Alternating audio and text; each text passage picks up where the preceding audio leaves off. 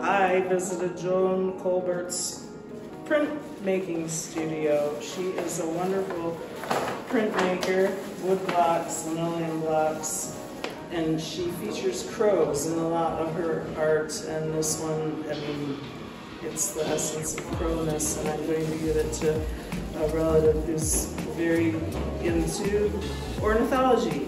Hi, I'm Jeannie, and I bought this for a good friend of mine whose 80th birthday is today. And this is made by Bobby Donahue, and my friend Anne loves fairies, and this will be part of her collection.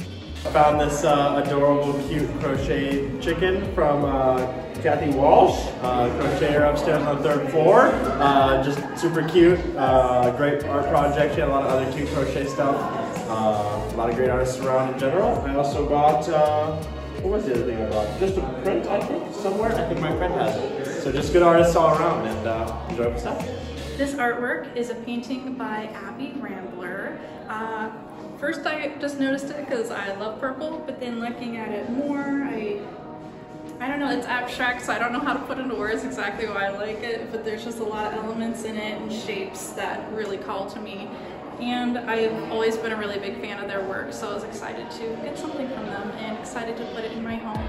I'm Brandon Waith. I'm uh, at the Akron Urban League. Um, I've been a really big fan of what's happening at Summit Art Space, and I saw this piece of art by Constance, I hope I say her name right, Lasig. Um, it's called The Icon of an African Man.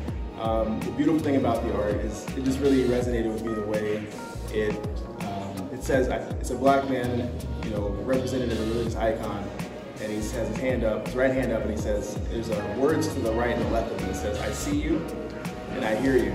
And that's something that really resonated with me as someone in the nonprofit world trying to do better in the community and um, let people of color be seen and heard.